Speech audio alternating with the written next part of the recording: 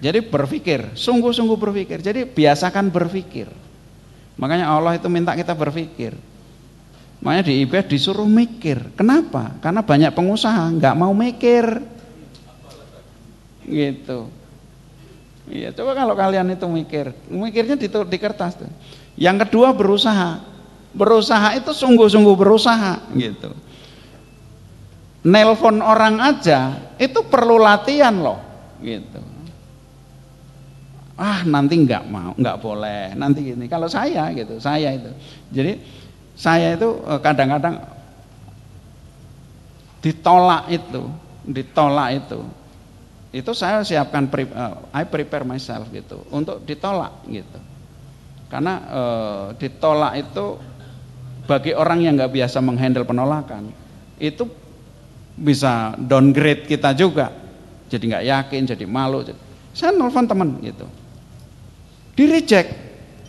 Wah, alhamdulillah hari ini ada orang yang reject saya. Gitu.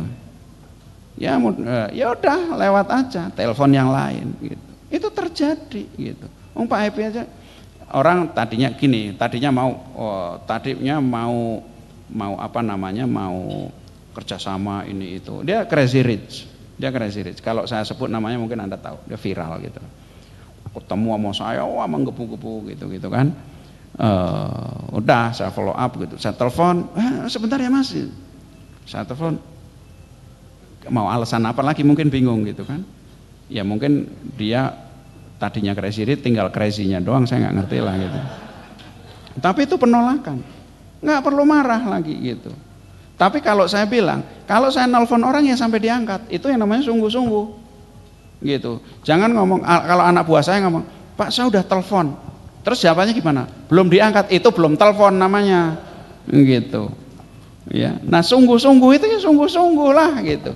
Jadi satu berpikir sungguh-sungguh, dua berusaha sungguh-sungguh. Sungguh-sungguh berpikir, sungguh-sungguh berusaha. Yang ketiga sungguh-sungguh yakin. Gitu. Ketemu insya Allah.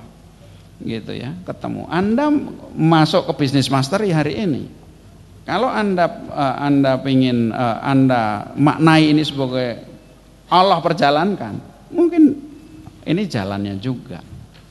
Gitu. Orang mau ketemu saya kan susah. Susah loh orang ketemu saya. Susah lah gitu. Saya kan cuma satu gitu. Yang nunggu di Kebumen gitu kan. Makanya hari ini kan ketemu sama saya. Gitu. Wah, ngelihat wajah Pak Happy aja kayaknya persoalan saya udah selesai semua gitu. Banyak loh. Saya itu sama kayak adik itu. Saya itu orang itu datang gitu. Wah, e, udah nyampe situ, begitu dia apa kamu tanya katanya mau tanya.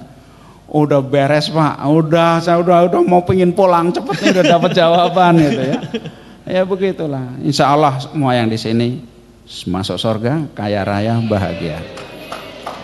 Nah tadi saya mesti tambahin ya, bahagia itu bukan hasil. Bahagia itu sebab. Gitu. Bahagia itu sebab. Jadi bukan orang itu bahagia karena sukses bukan. Orang sukses karena bahagia. Maka PR kita itu harus bahagia harus menemukan kebahagiaan. Simple gitu. Di IBF itu ada di grup pimpinan. Ada satu orang ngomongnya negatif terus gitu ya Aku bilang, kamu berhenti ngomong. Gitu. Saya kasih tugas satu aja. Hari ini, kenapa harus optimis? Temukan tiga alasan hari ini. Tiga alasan kenapa kamu harus bahagia. Hari ini ibu temukan. Kenapa saya harus bahagia hari ini? Setiap pagi. Oh anak-anak sehat. Iya kan? Oh kita itu masih bisa ketemu. Bagi para orang-orang yang lagi ditahan, ketemu itu luar biasa Kenapa enggak kita syukurin aja sekarang? Iya enggak? Jadi temukan tiga alasan kenapa Anda harus bahagia. Kalau itu Anda consistently melakukan itu, sukses itu persoalan waktu.